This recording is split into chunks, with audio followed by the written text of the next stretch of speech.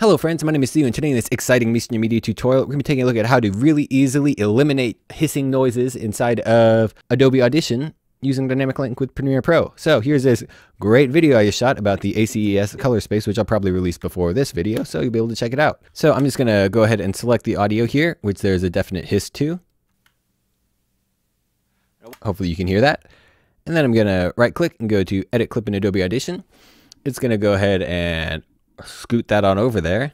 And now we've got our audio. So we can see here steps, which is stuff is happening. And you can see we have all this nice big blank space, which will be really nice for us. So this is just noise here.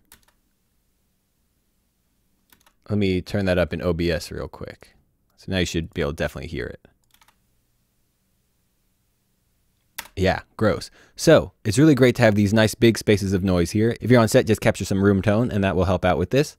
But we're just going to highlight all this, then go to Effects, Noise Reduction slash Restoration, Capture Noise Print. So now this loads that noise into memory, which we'll use to reference whenever we're reducing noises. So it'll basically take this and say, hey, this, I don't want that. And then it'll look through and take that all out, which is really some amazing stuff.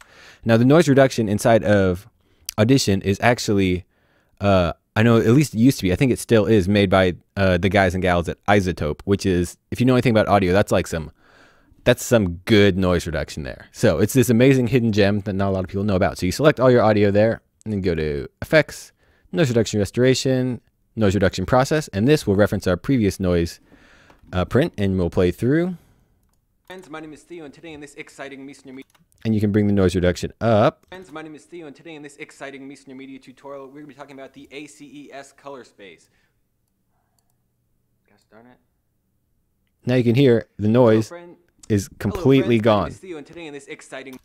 Sorry, I probably shouldn't be talking over myself. You can hear now that the noise is completely gone there. If you look, Theo, and today in this exciting Miesner Media tutorial, we're going to be talking about the ACES color space. It goes all the way down to negative infinity there, so it completely cuts it out. But it's more negate. It's actually reducing it inside the speech too, which is incredible. Now it's really easy to do this with. Uh, this was camera noise because I didn't bother recording this on my actual audio recorder, I just ran it straight into my camera and it, you know, the levels got a little bit low. So I boosted it up like 24 dB and you get a little bit hiss in there. So it mostly works on what's called periodic noise sources, which is like this. Um, a lot of stuff is not periodic, like a baby crying, but you can do other techniques to get that out of there some more, but they're a little more complicated. This is just a really easy thing. If you've got like hum or buzz or hiss, this will take it right out and you'll be a hero. So you just go ahead and apply that and it'll take a couple seconds to think and then save. And then you tab over to Premiere again. It'll load our new audio. And now, tutorial, we're going to be talking about the ACES color science. Nice and clean. So anyway, I hope you enjoyed this little tutorial. This is super handy. This will save your butt a ton of times. If you are in college and you are looking for an internship and you can do this, this is a sneaky way to make people think that you are some sort of crazy hero.